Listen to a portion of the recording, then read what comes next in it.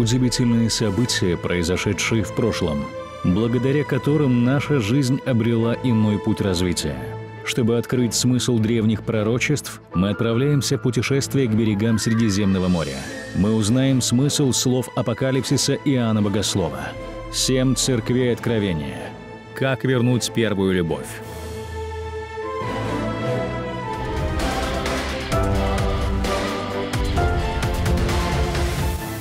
Древний Эфес раскинулся на западном побережье Малой Азии. Город был заложен на берегу Эгейского моря как портовый и быстро развивался за счет торговли. Свою славу Эфес не искал как религиозный центр культа богини Артемиды, во имя которой в городе был построен огромный храм, одно из семи чудес света. Этот храм привлекал посетителей со всего древнего мира, служил своего рода государственной казной и, кроме того, задействовал огромную рабочую силу, что приносило большой доход.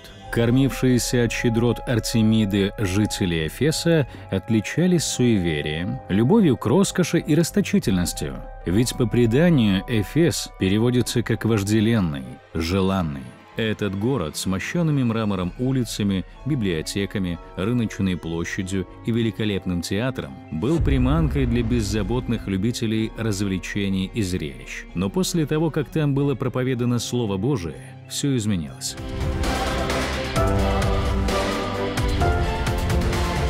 Каждом из геополитических регионов Римской империи был свой центр. В Египте – Александрия, в Сирии – Антиохия, в Греции – Каринф, в Италии – Рим. В 113 году до Рождества Христова римляне взяли Эфес под прямой контроль, и он сделался фактической столицей провинции Асия. Именно в Эфесе сложилась одна из самых славных общин первенствующей церкви. именно римский отрезок истории Эфеса нам особенно интересен – в конце первого, начале второго века старейшая, авторитетнейшая из христианских общин Иерусалимская церковь оказалась в большом затруднении. Жестокость, с которой римляне подавляли иудейские восстания, остро ставила под вопрос ее существование. После того, как Иисус оплакивал Иерусалим, буквально через несколько лет после его распятия, войска Тита и Веспасиана разрушили Иерусалимский храм. Также они э, захватили всю э, провинцию, э, которая называлась Палестина в то время, уничтожили э, огромное евреев, и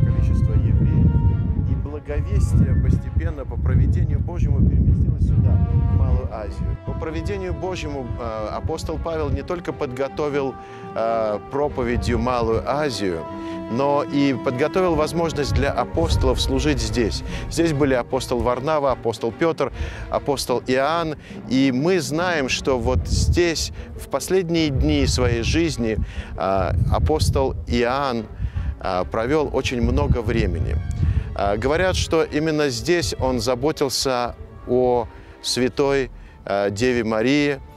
Здесь находится также дом Марии недалеко. Но вот в этом месте находится базилика, где похоронен апостол Иоанн по преданию, которое подтверждено многими историками. Когда император Юстиниан расширял свою империю, он везде ставил церкви и пытался найти те значимые для христианства места, в которых были великие апостолы или где а, за свидетельство Евангелия были убиты христианские проповедники. Так родились множество церквей по всей Малой Азии. А, церквей физических, красивых, шикарных. Не, не тех, которые, может быть, э, появились э, в результате э, просто проповеди апостола Павла только, но физические здания огромные. И вот здесь, когда Юстиниан услышал о предании, что здесь похоронен великий великий апостол Иоанн, он построил потрясающую базилику. А, к этой базилике стекались люди со всей империи для того, чтобы помолиться, по, пообщаться с Богом здесь, а, почитать Священное Писание. И именно здесь а, для многих людей, начиная с VI века, оживали э, вот эти вот послания, которые были написаны для разных церквей Малой Азии. Неподалеку отсюда, буквально в нескольких шагах, находится старинный город Эфес. Э, здесь апостол Иоанн проповедовал э, слово. Недалеко отсюда находится остров Патмос, где по, опять же, преданию писалось откровение Иоанна Богослова – Здесь э, совсем э, недалеко находится Пергам, э, Смирно. Несколько часов назад мы были в Милете, в городе, куда ходили из Эфеса пресвитеры, чтобы встретиться в последний раз с апостолом Павлом. На вершине холма в VI веке император Юстиниан возвел поразительных масштабов базилику. Она заменила собой более раннюю церковь, построенную на месте предполагаемого погребения апостола. Подсчитано, что если храм восстановить в прежних размерах, в современном мире он был бы седьмым по величине.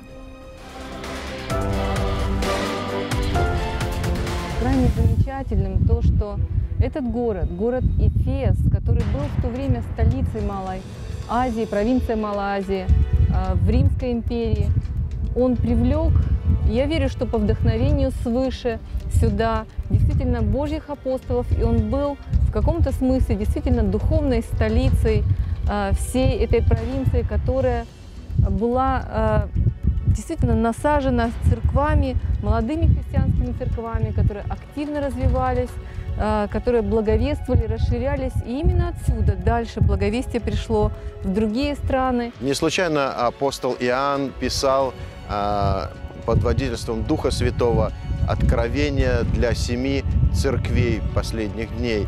Не случайно каждое из этих посланий отражает определенную суть человеческой натуры, человеческого э, э, вхождения на этой земле, благовествования. Э, это было очень важно. Апостол Павел отправился в Эфес в сопровождении Луки, а также Тимофея и Тита. Это было третье миссионерское путешествие апостола Павла. Его миссия в этом древнем городе была ознаменована огромным успехом. Благодаря этому Эфес превратился в христианский центр, откуда все жители Асии слышали проповедь о Господе Иисусе. Естественно, столь активное христианское служение столкнулось с гонениями, в результате которых Павел был вынужден покинуть город и отправиться через Македонию в Каринф. Это место действительно являлось центром благовестия долгие годы. И отсюда Евангелие распространялось по всему лицу земли. Поэтому для нас это не просто могила э, святого Иоанна. Для нас это прежде всего э, возможность увидеть, как Евангелие распространялось, возможность увидеть провидение Божье, возможность увидеть, что апостол Павел, проходя по этим э, землям, он не только проповедовал Евангелие, но он и готовил путь для благовествования, для апостолов, для того, чтобы израильтяне, э, которые будут рассеяны по всему лицу земли, могли э, не просто э, зарабатывать деньги в разных частях, не только спасаться от римских поработителей, но еще и благовествовать и творить чудеса великие именем Господа Иисуса Христа, еще и строить церкви и говорить о том, к чему их предназначил Спаситель наш Господь Иисус Христос. «Идите и проповедуйте Евангелие до края земли всем народам», сказал Спаситель, когда Он возносился на небеса.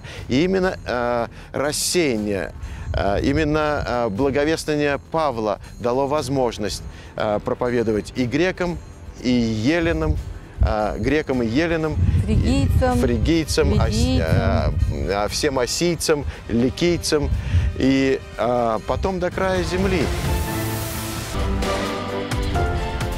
Множество племен и народов, которые описываются в Откровении Иоанна Богослова, как море великое, как шум, вот многих, говорит Иоанн, а, было количество народов, количество языков, которые наполняли место перед престолом Божьим.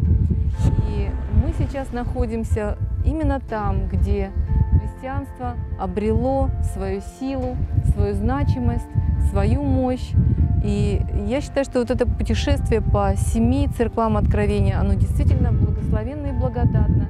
И именно посланием этой церкви, Ефесской церкви, начинается послание семи церквам. Ангелу Ефесской церкви напиши, так говорит держащий семь звезд в деснице своей, ходящий посреди семи золотых светильников. Знаю дела твои, и труд и то, что ты не можешь сносить развратных, и испытал тех, которые называют себя апостолами, а они не таковы, и нашел, что они лжецы. Ты много переносил и имеешь терпение, и для имени моего трудился и не изнемогал. Но имея против тебя то, что ты оставил первую любовь твою, и так вспомни, спал, и покайся, и твори прежние дела. А если не так, скоро приду к тебе и сдвину светильник твой с места его, если не покаешься. Впрочем, то в тебе хорошо, что ты ненавидишь дела Николаитов, которые я ненавижу. Имеющий ухо да слышит, что Дух говорит церквам, побеждающему дам вкушать от древа жизни, которое посреди рая Божия. Похвала церкви сменяется упреком. Дело в том, что церковь в Эфесе, как и всякая другая, находится перед выбором. Идет она к погибели или к спасению. Церковь обвиняется в том, что она отошла от своей первой любви, то есть от прежнего отношения к Богу. Дух Божий – предостерегает от опасного состояния, в котором находится Эфесская община. Итак, вспомни, откуда ты не спал, и покайся, и твори прежние дела. Но Господь дает и утешение. Побеждающему дам вкушать от древа жизни, которое посреди рая Божия. Это обетование восходит к популярному библейскому представлению. После грехопадения райский сад был закрыт и будет открыт только тогда, когда люди обретут примирение с Богом. Это потрясающее послание, оно говорит о том, что церковь это было угодно Богу. И дела этой церкви были велики, многочисленны и э, также праведны. Бог э, направлял эту церковь, чтобы, делая дела, эта церковь не увлекалась только ими, но помнила о том, что движет ею, помнила о том, кто есть ее альфа и омега, начало и конец. И судя по тому, что эта церковь также простояла здесь столетия и благовестие распространялось дальше, мы видим, что э, Ефесская церковь действительно была во главе этих семи церквей и самых, наверное, крупных, потому что мы знаем, что и в Галатии, и во Фригии, во всей действительно Малой Азии было основано множество церквей, Дальнейшая история свидетельствует, что христианам Эфеса удалось преодолеть искушение. К началу 110 года Эфесской церкви было направлено хвалебное послание священномученика Игнатия Антиохийского. В своем послании святитель пишет, что желал бы обрести жребий эфесских христиан, которые силою Иисуса Христа всегда были единомысленны с апостолами – в конце II века святой мученик Ириней пишет, «Церковь Эфесская, основанная Павлом и имевшая среди себя Иоанна до самых времен Трояна, есть истинная свидетельница апостольского предания». Апостол Павел провел здесь более трех лет, проповедуя, по его словам, денно и ночно, со слезами он учил здесь учеников, сюда привлекались многие благовестники. И что важно, э, Помимо того, что э, этот город был столицей, он был большим действующим портом, откуда благовестие распространялось также действительно в другие страны. С утверждением христианства в Эфесе языческие капища и статуи, которым некогда поклонялись, были разрушены. Как свидетельствуют историки, храм Артемиды был позабыт, ее святилище заброшено и разорено. От храма не осталось даже развалин.